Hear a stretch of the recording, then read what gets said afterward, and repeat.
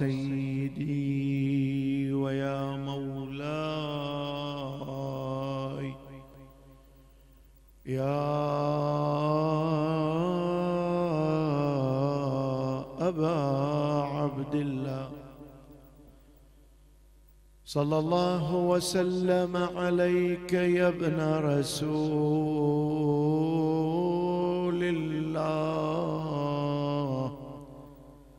وابن أمير المؤمنين وابن فاطمة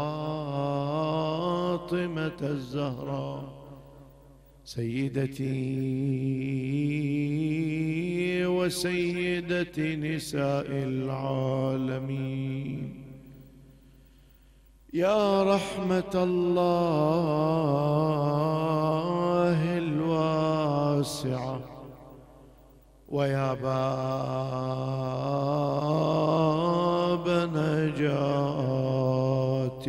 الأمة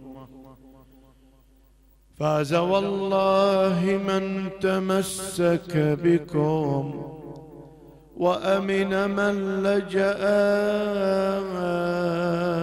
إليكم. يا ليتنا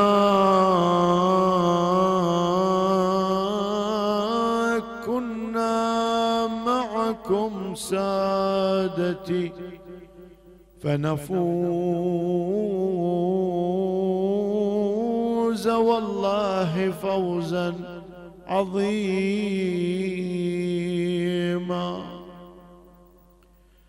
الله أي دم في كربلاء سفكا لم يجر في الأرض حتى أوقف الفلكا وأي خيل ضلال بالطفوف عدت على حريم رسول الله. فانتهكا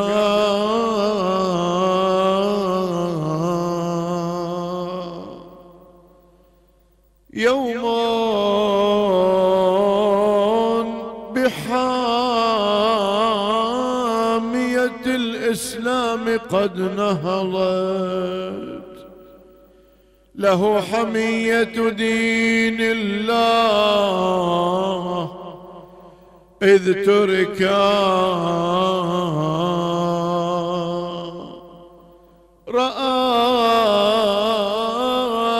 بأن سبيل الغي متبع. والرشد لم تدر قوم أية. سلكا والناس عادت إليهم جاهليتهم. كأن من شرع الإسلام قد أفكا وقد تحكم بالإسلام طاغية. يمسي ويصبح بالفحشاء منهمكا العاصر الخام. من لؤم بعنصره. ومن خساسة طبع يعصر ودكاء قد أصبح الدين منه يشتكي سقما. وما إلى أحد غير الحسين شكا. فما رأى الصيب للدين الحنيف شفان إلا إذا دمه في كربلاء. سفك قر واستقر يا دين جدي وبشروطي أنا الذي بشفيك من هالمرض والطيب. وش علتك يا دين جدي والأماجيد؟ قال لا يا أبو السجاد بشكي لك من يزيد. قال له أنا عندي دواء والجسم يفيد أنا دخرني لك مداوي عالم الغيب. بيد يا حسين. بتعالج الجسمي ترى علتي صعبة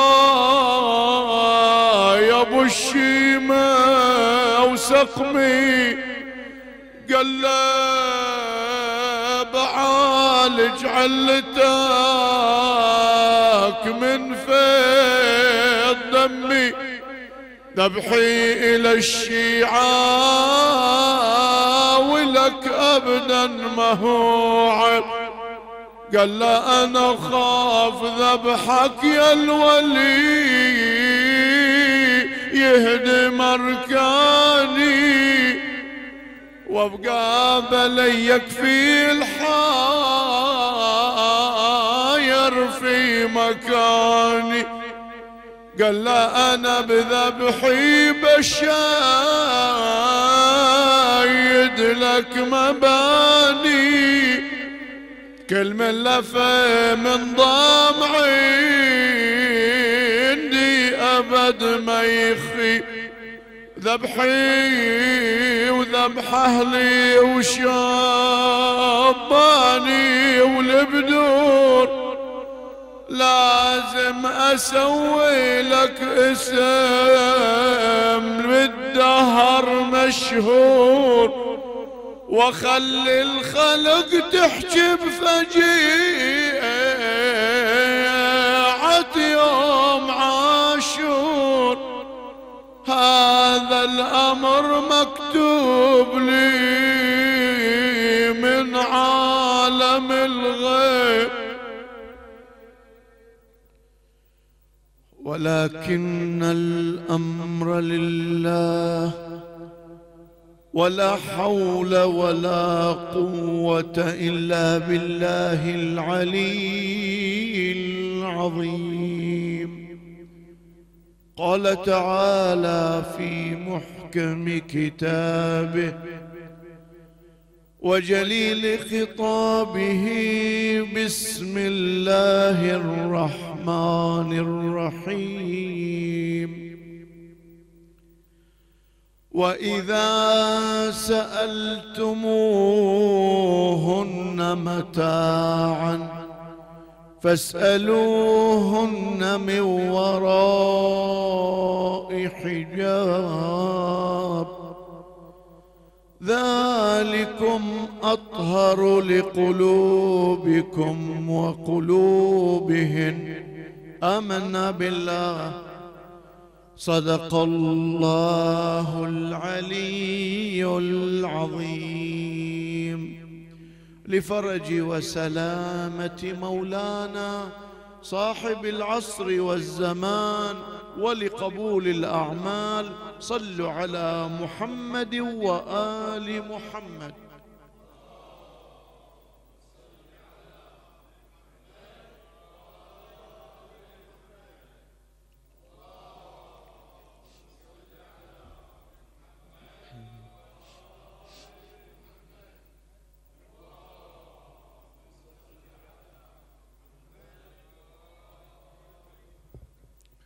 الحديث الليلة والليلة القادمة إن شاء الله حول العفة وأنها صلاح الفرد وصلاح المجتمع. العفة ما هي؟ بنظر أهل اللغة العفة أن يترك الإنسان ما يشينه يعني ما لا يجمل به لا يناسبه. يعتبر أمر مستقبح أن يصدر منه. أساتذة الأخلاق قالوا العفة هي أن ينقاد تنقاد غرائز الإنسان لعقله لأن العقل إذا قاد الغرائز صارت الغرائز معمرة نافعة. إذا لا العقل صار أسير الغريزة صارت الغريزة مدمرة. يعني شلون؟ خلينا نضرب مثال يقرب الفكرة. الإنسان الآن إذا شهوته هي المالكة هتلر لما رغبته في التوسع صارت المالكة. صار عقله يخطط لإشباع هالنهم والغريزة وتصنيع السلاح وقتل ملايين. هذا هتلر. إذا الإنسان هو مثلا بيته بيده بيت المال إذا ما يشبع لو يوصل رصيده 35 مليار ما يشبع. ويفكر كيف يتحايل على القانون وياخذ أموال الناس. هو العقل هكذا إذا سيطر عليه يتوظف لصالح لصالح الشهوة. لكن إذا الشهوة صارت تحت حاكمية العقل حينئذ الشهوة تسير في المسار الصحيح فبها يحفظ النسل البشري.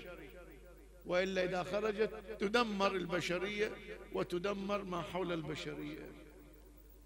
الآن النقطة الأولى ما هو مراد الإسلام من الغريزة الجنسية؟ لأن العفة في الروايات تطلق على غريزة البطن وغريزة الفرج. وحديثي ما يتعلق بغريزة البطن لأن هذا موضوع آخر. حديثي يتركز كله على هالغريزة المدمرة اللي الإسلام يقول عنها من تزوج فقد أحرز نصف دينه. كأن صعوبة الإسلام نصها في الغريزة الجنسية. فليتق الله في النصف الباقي. ورد في الروايات ثواب اللي ينضبط. وإيش تقول الرواية؟ يمكن أول مرة تسمعها أو سمعتها قليل. ركعتان يصليهما المتزوج أفضل من مو من ركب سبعين هذه كلكم سمعتونها واجد. أفضل من رجل عزب يقوم ليله ويصوم نهاره. هذا المتزوج وهو ما يصوم المستحبات ولا يصلي الليل. رواية تقول ركعتين هل المتزوج يسويهم يصليهم؟ أفضل من ذاك اللي يقوم الليل. لأن الإسلام يستشعر الخطورة من العزوبية. يستشعر الخطورة. ولهذا لما كانت مريم العذراء سيدة النساء في زمانها بمدى مدحها القرآن. والقرآن كلام الله. مريم التي ومريم التي أحصنت فرجها. هذا الإحصان الإحصان على ثلاث مراتب. مرتبة الدنيا. وهي أن ما يزني ما يستمني ما يسوي الفواحش ما يعصي الله في الغريزة الجنسية. هذه المرتبة أقل المراتب. المرتبة الثانية ما يرتكب مكروه. يعني شنو مكروه؟ الآن إذا واحدة طافت يكره نطالعها من خلفها بدون شهوة. مكروه. مكروه نسلم على بنت شابة. سلام عليكم. نسمع صوتها. مكروه. اختلاط مع الأمن من الحرام مكروه. كل هالمكروهات ما يفكر يسويها. أي مرتبة أعلى من المرتبة الأولى. المرتبة الثالثة أعلى وأعلى. ما يخطر بباله شيء لا يرضي الله. يعني على مستوى الخطورات الذهنية هو منضبط. مو على مستوى السلوك الخارجي فقط. مكروه حرام. مريم التي أحصنت فرجها متوفرة على كل هذه المراتب. إحنا الآن نبي نلحق على المرتبة الأولى. نبي المتزوج. يملك عينه إذا طالع التلفزيون إذا طالع التلفونات إذا طلع السوق إذا طلع كذا. لأن واجد شكاوى. وهذه الشكاوى طبعا موجودة من زمن النبي. يعني الآن في الرواية النبي راكب دابة وود عمه وياه راكب. ود عمه شاب بني العباس. الرواية تقول جاءت شابة تسأل رسول الله. هذا سؤال. وقفت للنبي تسأله. وإذا بهذا ولد عم النبي وراكب ويا النبي على دابة واحدة يطالع الشابة وهي بعد شافت شاب يطالعها قامت تطالعه. النبي باعد في وجهه. وجه ولد عمه. يقول شاب وشابة ما يؤمن. يباعد في محضر الرسول. طبعا سمعتم قصة أمير المؤمنين قاعد وحول أصحابه وطافت مرأة جميلة. فالرادارات كلها راحت عن علي وتوجهت من صوب. المرأة اللي طافت وش قال؟ الإمام علي علمهم طريقة للتخلص من طمع العين. قال إن هذه الفحول طوامح وذلك سبب هبابها هيجانها. ثم قال إذا نظر أحدكم إلى امرأة فأعجبته فليلامس أهله. فإنها امرأة كامرأة. يعني شنو؟ نقرب الفكرة. فكرة كلها أمثلة يعني عادية بتحملوني. هسه لو أنا جوعان وقالوا لي وش خاطرك؟ أقول لهم والله خاطري الآن مثلا مجبوس هامور نتصل اتصلنا قالوا المطعم ما يشيله شكله صك الآن. والحل ما في إلا روتي وجبن. قلت بالها إلا ما أحبه. وإيش حين ما في إلا هو. قال يلا جيبه وش أسوي؟ أكل هالروتي وجبن لي يقول لي أخوي أخوك اللي استعجلت إذا حصلت اللي تبيه قال بس ما جيب ليش؟ هي تحبه وذاك ما تحبه. أكلت خلاص. من يشبع الإنسان ما يطيق حتى يتكلموا عن الأكل. صح لو لا؟ واحد يقول يعني زوجتنا هي السندويشة جبن ولا في الطريق هي لا حبيبي أنا أريد أقول أن اللي يشبع ما يشتهي وإلا إلا في البيت كثير من الأحيان أعف وأجمل من اللي في الطريق. بس الفارق أن اللي في البيت لأنه حلال الشيطان ما يزينها ولأن اللي في الطريق حرام الشيطان يزينها وإلا هي مي أحلى. هذه مشكلتنا. فإذا يا حبيبي نريد نتكلم عن العفة. فلنبدأ على بركة الله. أول شيء نبدأ برواية عن فضل العفة الرواية عن إمامنا الباقر تقول إن أفضل العبادة عفة البطن والفرج. شوف الرواية ما قالت إن أفضل الأعمال جعلتها عبادة. وحتى شيخ بهجت عارف يقول لي انصحنا وش تنصحنا؟ أفضل الأعمال شنو؟ قال الذكر العملي. ذكر عملي يعني شنو؟ يعني لين الشيطان قال لك طالع طالع البنية جميلة اذكر الله ولا تطالع. هي يسمونه ذكر عملي. مو سبحان الله سبحان الله. لا مو ألفاظ. أنا ذكرت الله وأعرضت بوجه عن الحرام. هي ذكر عملي. خلنا نشوف القرآن وش يتكلم عن الذكر العملي. يقول تعالى ومن يعش عن ذكر الرحمن ما يذكر الله؟ نقيض له شيطانا فهو له قرين. شيطان إذا قرين يقول يقوم صلي ويقوم صوم لو بيقول لي افعل المنكر وافعل الحرام. افعل الحرام. تعال الطرف الآخر اللي يذكر الله إن الذين اتقوا إذا مسهم طائف من الشيطان تذكروا فإذا هم مبصرون. ما يرتكب أي معصية أبدا. يتذكر الله ولا يقع في المعصية. إذا الرواية تقول أفضل العبادة عفة البطن والفرج أفضل من الصلاة وغيرها. هو الصلاة الله وش يقول؟ أقم الصلاة لذكري. هذا هذا العملية العفة هي ممارسة الذكر العملي. لكن مع ذلك أحب أقرأ رواية عن رسول الله للشباب لأن لليوم العصر عندي مآسي حب. إلا تبي هذا ولا ينبي هذه ومشاكل أسر لليوم العصر. الرواية تقول من عشق عن رسول الله صلى الله عليه وآله. من عشق. قبل لا نكمل الرواية خلينا نشوف العاشقين وش يسوون. الواحد مثل مجنون ليلى لما عشق سوى؟ قام يجيب أشعار في بيت الناس. طب مي زوجتك حتى تجيب أسماء اسمها. وحتى لو زوجتك تبقى عرضك وعرضها إلها لا قاعد يتغنى بها في الأشعار فهتك عرضها. هذا واحد. اثنين يتفقد مكان تواجدها إذا هي طالبة ثانوية يروح كل يوم يروح عنده شغله في ذاك الوادي. بعد يتكلم يتصل ما ما يترك. الرواية شقول شنو تقول؟ تقول من عشق فكتم. مو رايح جاي أشعار في بيت الناس ويفضح سترها. من عشق وكتم وعفه. ما راح يطالع ما راح يتصل ويتكلم. كل هالأمور التي لا تحل ما مارسها. بعد بس متألم. يوم بيتواصل إياها. تقول وصبر. كتمان وعفة وصبر. غفر الله له وأدخله الجنة. الله يحب الشاب اللي في قوة غريزته هو منضبط هو تائب هو راجع إلى الله ما يتمرد على حكم الله. هذا الله يحبه.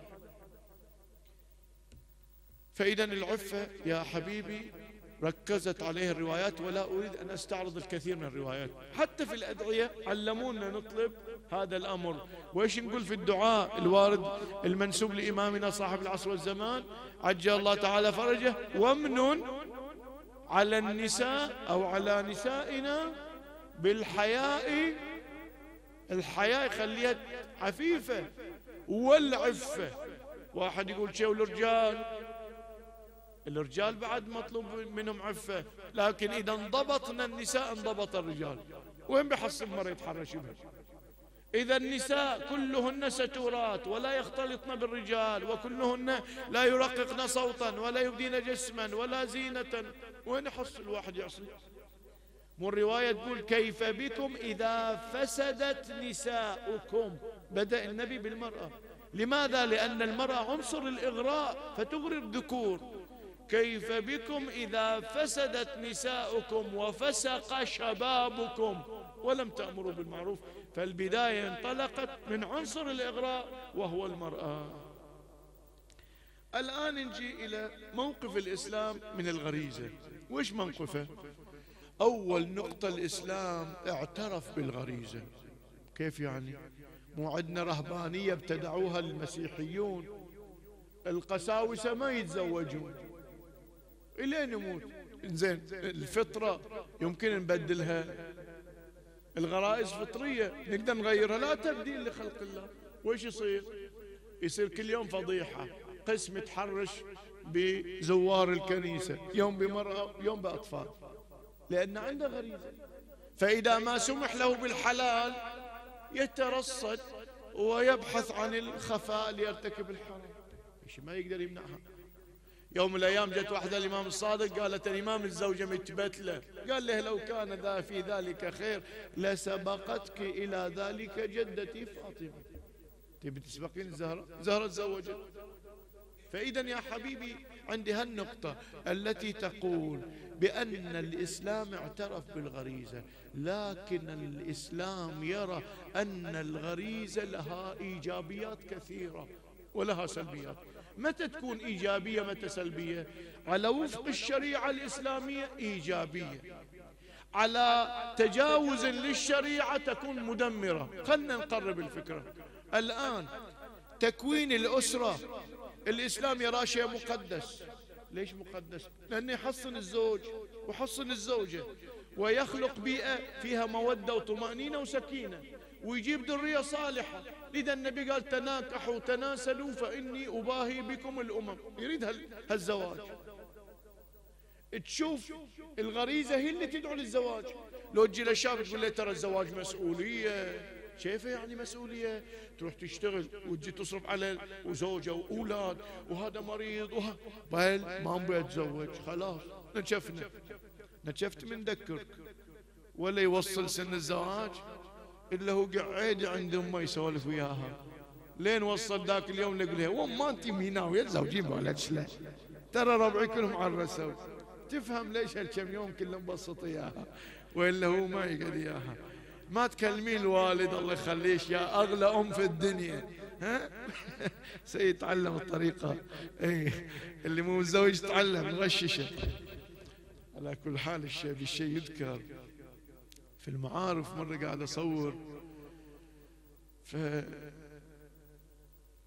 قلت بعض اللقطات يشوفونه يخلونه في المسجد في صندوق عليه جامع. هي غلط. لأن كذي كل واحد يقدر يقول هي إيه هالساعة مالتي؟ إي والله مالتي. وشافها وقال مالتها. لكن إحنا نخشها ونقول له ويش لونها؟ ويش كذا؟ حتى صدق له. ثم قلت يعني معقولة واحد المسجد يبوق؟ قلت لهم إحنا نباقي لا يم الكعبة مول بالضبط. باقي بس أحط إيدي على الكعبة وأنا باقي هناك. وجبت لهم قصة مرة واحد باقني بذكاء في الكعبة. بس طلعت من التصوير قلت تعال أنا علمت الناس كيف يبوقوا. اتصلت للمخرج قلت له أحذف القصة أحذفها. لو احد يبوق يقول أنا إي والله تعلمت من شيخ فلان كيف يبوقون. فيا سيد مو تتعلم مني كيف تروح للوالدة ودخلنا وكذي. على كل حال. فالمسألة أن الإسلام جعل الله خلق الغريزة حتى الزوج يرغب في الزواج والمرأة ترغب في الزواج وتتكون الأسرة اللي هي لبنة أولى للمجتمع. هذا واحد. اثنين نجاح نجاح الغريزة في البيت الزوجي. لها دور كبير في التماسك البيت الزوجي. يعني إحنا عندنا مشاكل جينا المكتب. سببها فشل. فشل فشل في الإشباع. صراحة أقول لك إنهم يقولوا إحنا عندنا مشاكل ونبي نتطلق. وأجي أقول لهم قولوا لي مشكلتكم شنو؟ ثم مرت تقول صراحة هذا أناني. هذا يشبع لنفسه ولا يفتكر في غيره. ما أقدر أصبر عليه. بينما إحنا طبعا عيب عندنا نجيب هالكلام فوق المنبر. وعيب نتكلم كثير من الأمور. ونجي والمشكلة الناس ضحية. الأئمة تكلموا روايات ما حد منهم قال عيب. وحتى أنا تتحملني الليلة وليلة باكر إذا في نظرك أنا قلت كلام عيب. شوف لما آه، خولة مرأة في زمن النبي هذه اختلفت يا زوجها وارتفع الصراخ بينهم فقال لها كلمة قال لها أنت علي كظهر أمي. الحين هدأ أو عقب المشكلة قالت لي أنت الحين قلت لي كلمة في الجاهلية خلاص ما أحل إلك. إحنا الحين أسلمنا ما أدري حكم الإسلام شنو. هو صاحب الجريمة. قال لها روح انت للنبي. الحين ما يقدر يقاربها شرعا. فراحت للنبي قالت يا رسول الله إني امرأة كنت إني كنت امرأة شابة مرغوب في. جميلة فتزوجني الأوس بن الصامت فلما خلا سني كبرت في العمر ونفرت بطني جبت لي أولاد. ظاهرني قال لي أنت علي كظهر أمي. وإيش حكمنا؟ الرواية تقول قال النبي صلى الله عليه وآله لم ينزل علي في ذلك شيئا. القرآن وحي ما نزل. قالت لي يا رسول الله إنه لم يقل كلمة الطلاق. ما طلق هي تب الحق الشرعي اللي إحنا عندنا عيب. الآن مرة جاي الطالب للنبي ولا قال له النبي عيب. تالي قال له النبي لم ينزل علي شيء. قالت يا رسول الله إن لنا صبية إن ضممتهم إليه. رجال ما يعرف ربي ضاعوا. وإن ضممتهم إلي ما عندي أصرف عليهم جاعوا. الله وش قال؟ قد سمع الله قول التي تجادلك في زوجها. وجاب القصة وسواها سورة وخلاها باسم هالمرأة المجادلة. وصار الجدال يقرأ. مرأة الطالب بالحق الطبيعي الله خلاه قرآن إلى يوم القيامة يتلى ما قال النبي عيب ولا الله قال عيب. الله يقول إن الله لا يستحيي من الحق. فأنا الآن إذا أتكلم عن هالنقطة لأن الشكاوى واجد. أن الرجال يشبعون ولا يشبعون. أنانيين في هالمورد. الرواية وش تقول عن المعصومين؟ الرواية عن إمامنا الصادق تقول إن الله أعطى المرأة الصبر عشرة رجال. شفت الواحد إذا ماتت زوجته حزين مقنقن وإذا جاك الواحد يعزيه حزين إذا جاء واحد خطيب سلم عليه قال لي عاد مو تستعجل عندي يا كلمة راس. في الفاتحة إي ما عليه. خلص أخذ برد قال لي أخوك أنا أدري المسألة يبغى هواك. أنت من الحين بد ما نطلع من الأربعين إلا أنت حصلت لنا شيء مرتب. بينما المرأة قد ما يجيها زوج أصلا قبل لا تتزوج تظل عانس وتصبر. وساعات يطلقونها أو يموت زوجها وعندها أطفال ويتقدم لها ناس بمستويات. تقول لا باليتامى عندها صبر. فالرواية تقول إن الله أعطى المرأة صبر عشرة رجال. لكن شوف تكملة الرواية؟ فإذا أثيرت كان لها قوة عشرة رجال. الله جعل قوة شهوة المرأة أزيد من الرجل حتى يحفظ البيت. وإلا عادة الرجال صراخ وزمرات وما أدري وش يصبرها عليه؟ الحاجة المتعددة الأنحاء. منها الحاجة. فالرواية عن إمامنا الصادق تنهي أن واحد يقارب أهلك الطير. شوف أنا عيب أقول بس من صادق مو عيب. خلني أقول قال الصادق. تنهي كالطير. كالطير يعني شنو؟ يعني بدون مقدمات. الطير يجي يخلص ويمشي. بدون مقدمات. الإسلام يحث على المداعبات السابقة. ليش؟ الرواية تقول عن المعصوم تقول إذا شخص جاء مجرد أخذ حاجته ومشى غاية ما قام به بالنسبة للمرأة هو أثارها. فأصبحت لها قوة عشرة رجال. فالرواية تقول لو وجدت زنجي زنجي يعني عبد أسود شكله مو جميل بنظرنا لفجرت معه.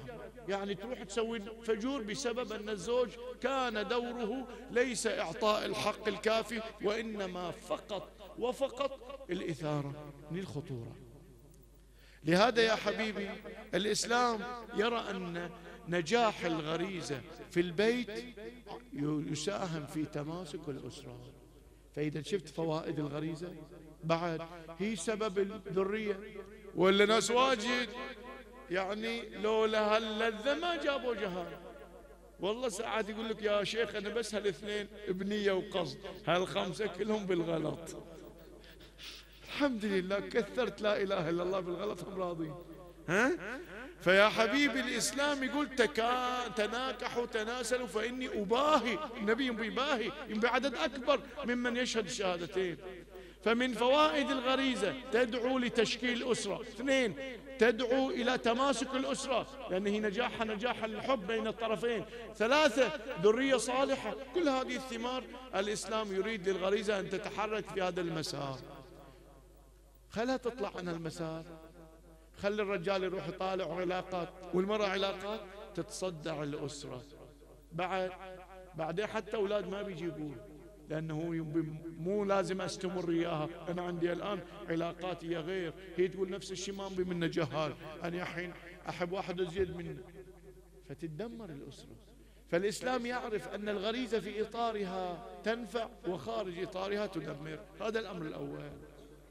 بعد انجي الآن إلى النظرة الثانية للإسلام للغريزة أنها محل ابتلاء.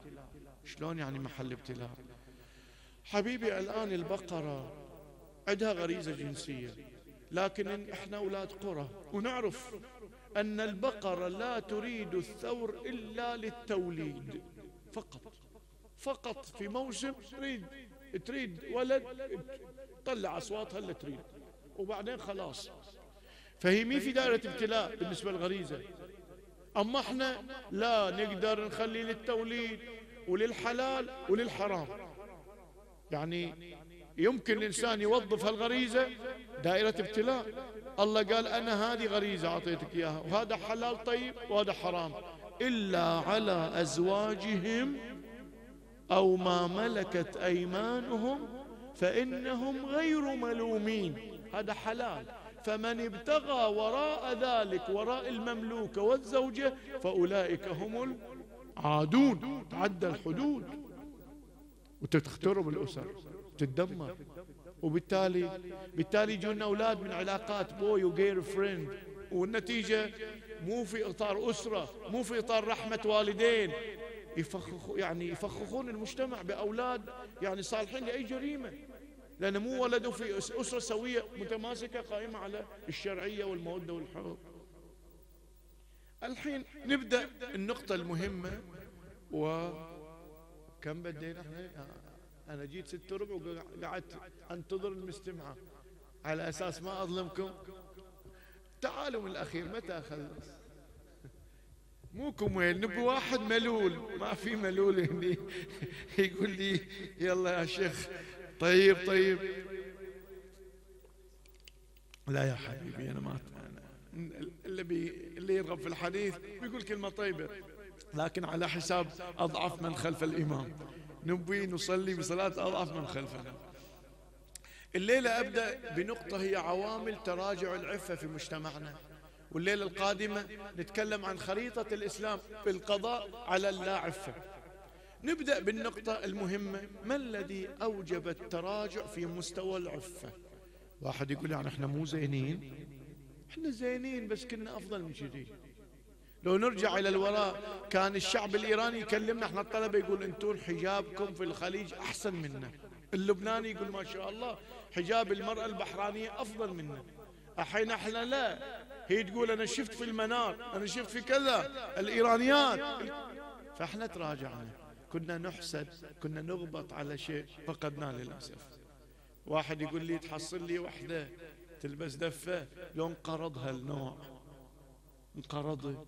قلت له ما انقرض بس على النهاية على النهاية. واجد صعب نحصل له وحدة بالعباءة الزينبية. على كل حال. نبدأ بالعام الأول.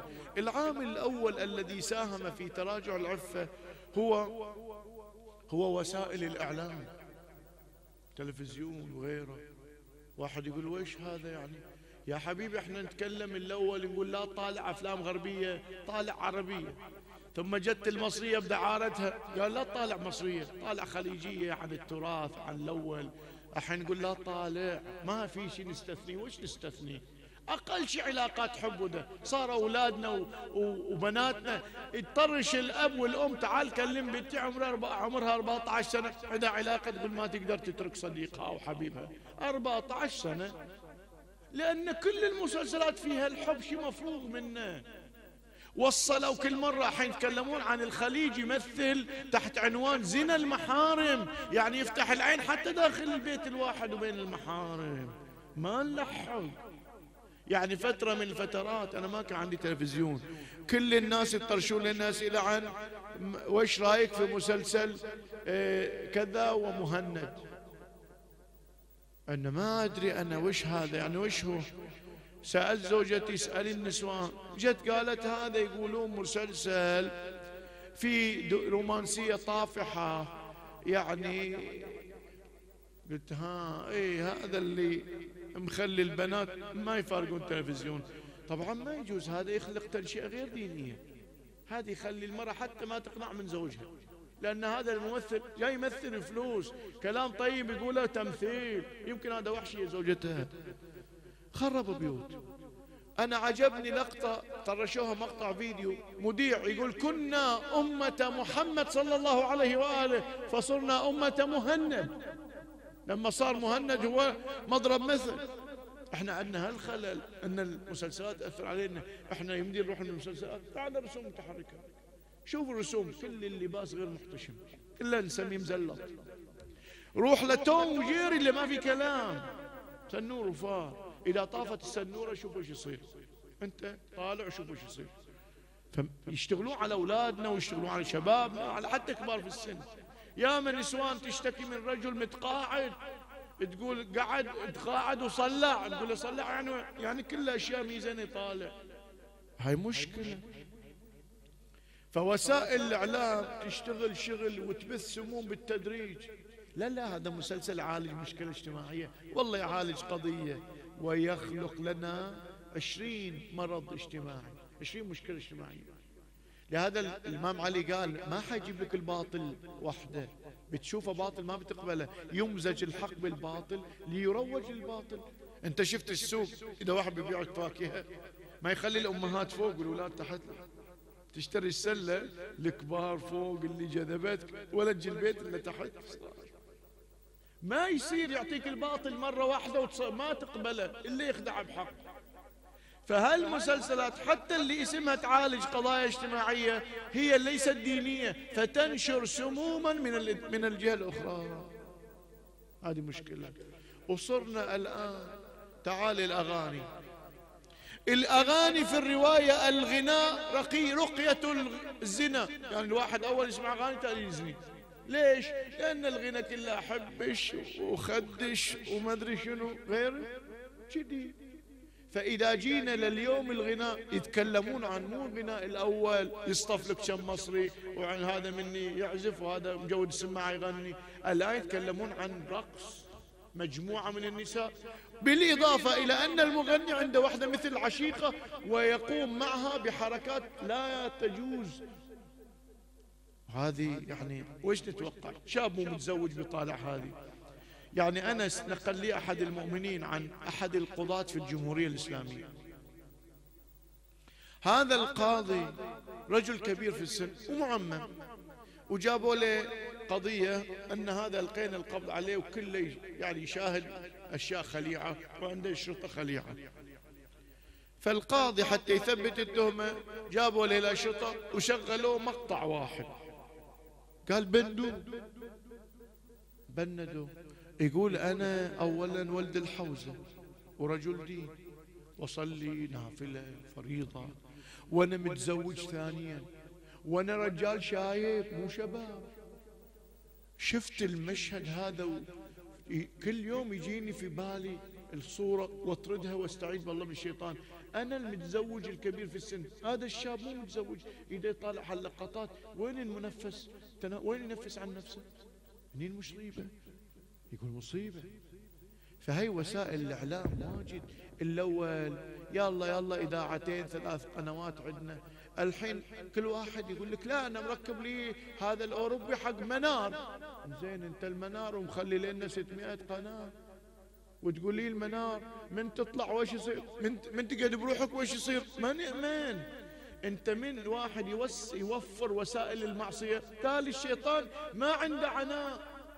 يعني إذا واحد بيقول لي قوم روح السينما غير بيقول لك كل غرفة وبروحك شغل. الشيطان يكون مع وجود وسائل الحرام شغله أقل ما يتعب زايد يخدعنا بسرعة. فإحنا دي وسائل الإعلام أخذتنا إلى الوراء واجد.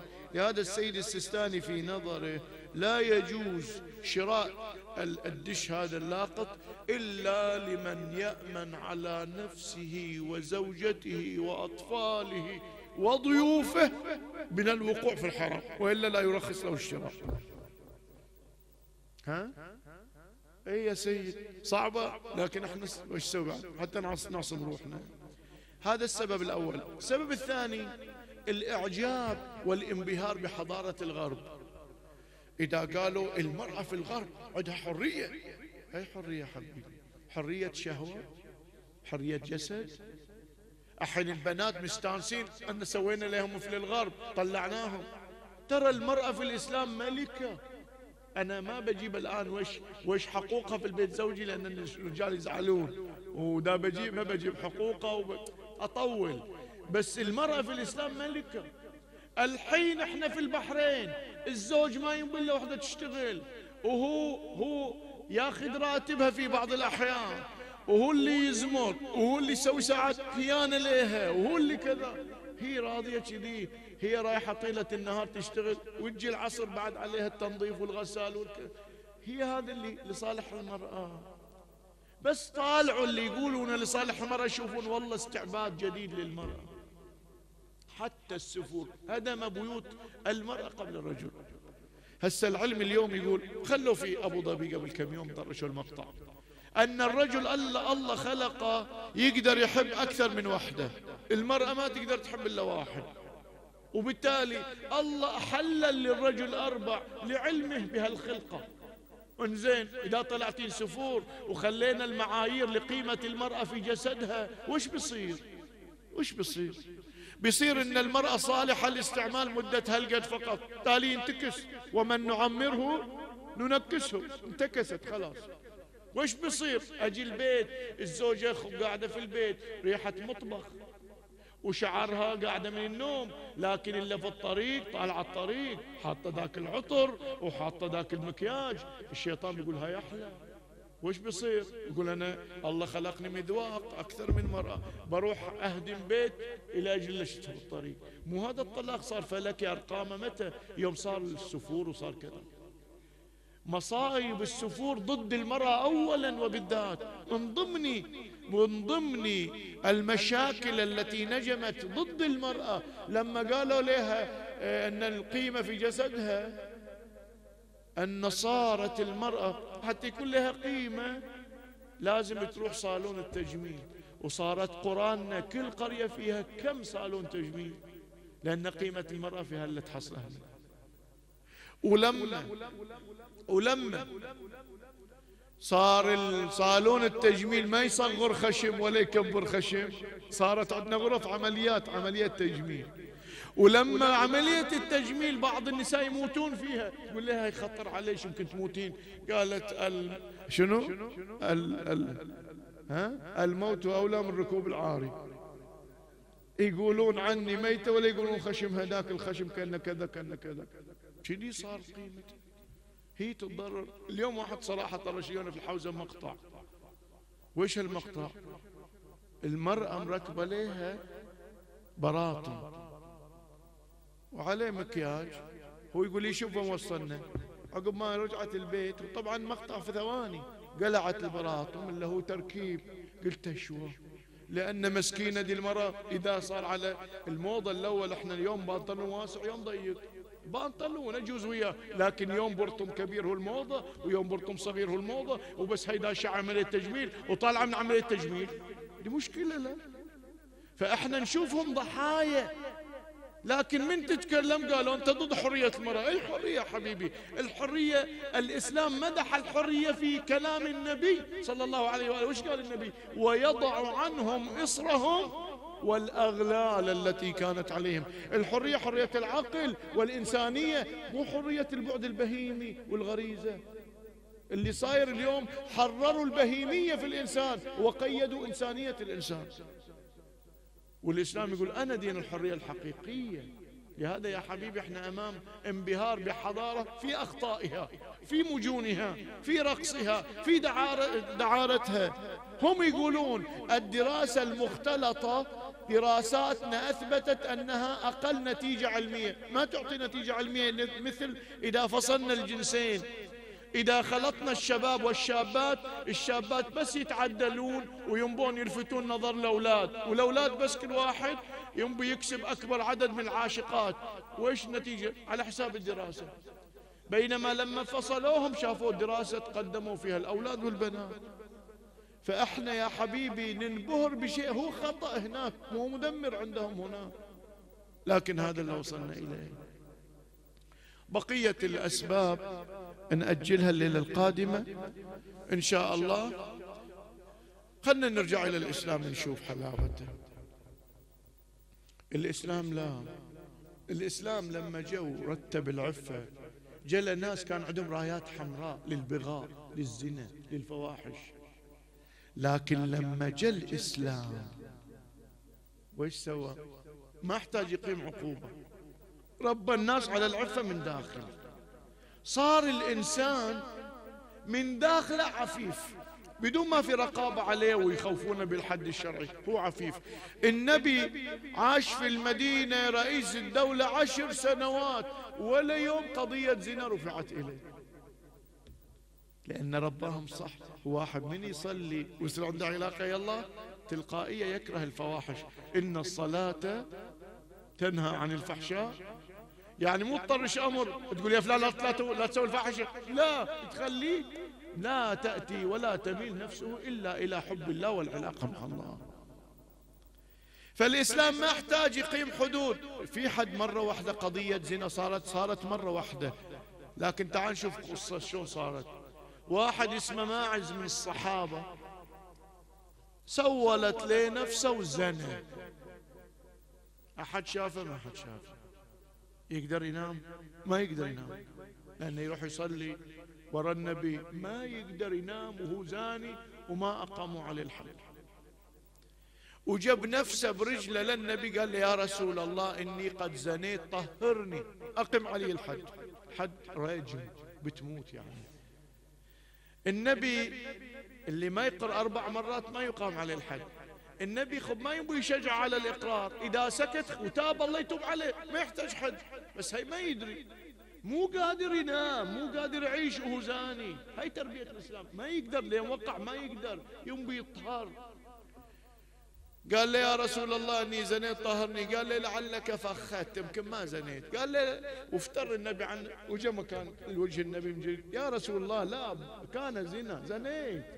النبي كحين يعرض عنه ويقول لي لعل كذا يبي يمشيه لا أصر أربع مرات أقر.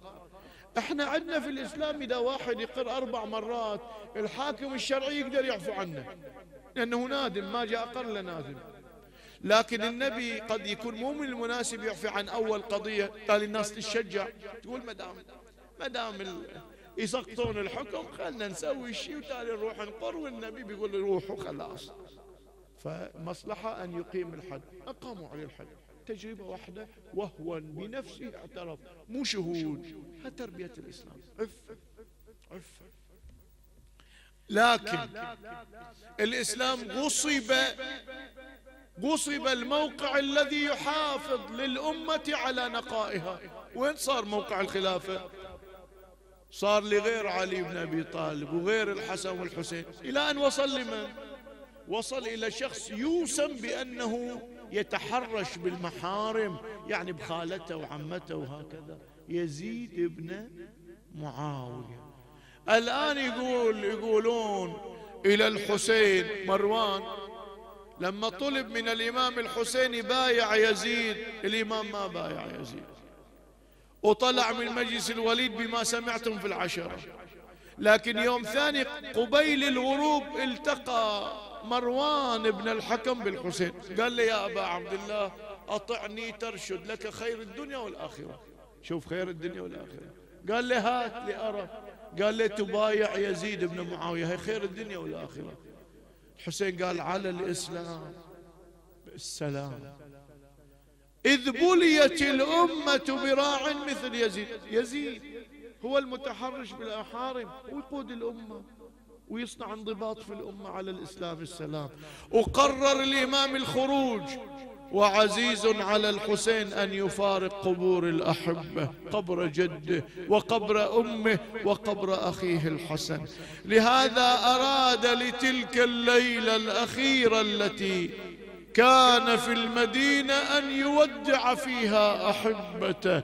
بدأ بقبر رسول الله صلى الله عليه وآله جاء وجلس عند القبر صلى ركعات إلى قبيل الفجر ثم جاء إلى قبر جده رسول الله. اللهم هذا قبر نبيك وأنا ابن بنت نبيك وقد حضرني من الأمر ما قد علمت. وإني أسألك يا ذا الجلال والإكرام بحق القبر ومن فيه إلا اخترت لي ما هو لك رضا ولرسولك رضا. ثم هومت عيناه بأبي وأمي وإذا به يرى جده رسول الله صلى الله عليه وآله ومعه كتيبة من الملائكة عن يمينه وشماله. هذا والحبيب المصطفى فاتحا باعه لصبطه ضم الحسين إلى صدره قبل ما بين عينيه. حبيبي يا حسين كأني بك عن قريب مرملا بدمائك. مذبوحا بأرض كرب وبلاء. من عصابتي من أمتي. ولدي وأنت مع ذلك عطشان لا تسقى وظمآن لا تروى. بلى يا رسول الله لقد ذبحوه وهو يقول بحق جدي إني عطشان. وهم مع ذلك يرجون شفاعتي. لا أنالهم الله شفاعتي يوم القيامة. حبيبي يا حسين إن أمك وأباك وأخاك قدموا علي وهم مشتاقون إلى لقائك. وإن لك في الجنان لدرجات لا تنالها إلا بالشهادة.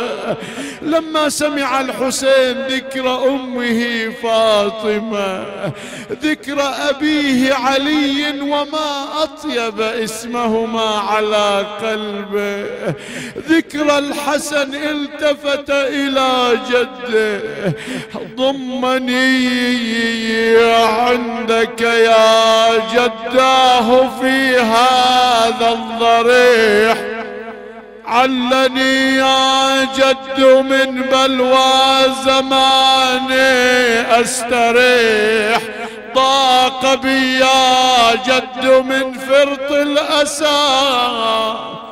كل فسيح فعسى طود الأسى. يندك بين الدكتين جد صفو العيش من بعدك بالإكدار شيب وأشاب الهم راسي قبل أبان المشيب فعلى من داخل القبر بكاء ونحيب ونداء بافتجاع يا حبيبي يا حسين. أنت يا ريحانة القلب حقيق بالبلاء إنما الدنيا أعدت لبلاء النبلاء لكن الماضي قليل بالذي قد أقبل فاتخذ ذرعا من صبر وعزم سابغ. ودع قبر جده وجاء إلى حيث قبر أمه فاطمة. يا لها من ساعة لما قال أمه في أمان الله. كأني بها حنت وأنت ونادت إلى أين يا ثمرة فؤادي؟ لسان حال الحسين أمه إلى حيث مصرعي. أمه لقد أنبت المسمار في صدرك. أما أنا فسهم له ثلاثة شعب في قلبي. أماه لقد أضرموا بابك نارا أما أنا فتحرق خيامي على رؤوس بناتي ونسائي. أماه لقد أسقطوا لك محسنا. أما أنا فأذبح وقبل ذلك تقتل رجالي أولادي بل حتى رضيعي. أماه لقد أخذوا بعلك ملببا إلى المسجد. أما أنا فالحبال في عنق زين العابدين. طرفه الآخر في أعناق بناتي ونسائي. اتمرغ على الرضا. وقلبه من الوجد ذاب عفر خدوده ويح قلبي بذاك التراب. ينادي عزيزك يا بتولى من الهضم شاب. متحيرة بالوطن